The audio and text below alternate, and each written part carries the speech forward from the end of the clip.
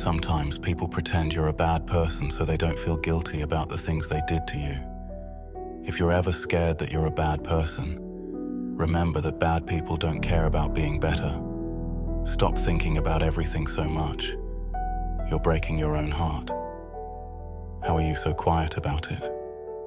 Your sadness, I mean. How do you hold it in your chest, in your eyes, in your teeth without letting it speak? How does it stay still? And if I asked you to name all of the things that you love, how long would it take you to name yourself? People, people, endless noise, and I am so tired. And I would like to sleep under trees red ones, blue ones, swirling, passionate ones. Every great thinker is more afraid of being understood than of being. The key to maintaining joy in life is getting excited about tomorrow's breakfast every once in a while.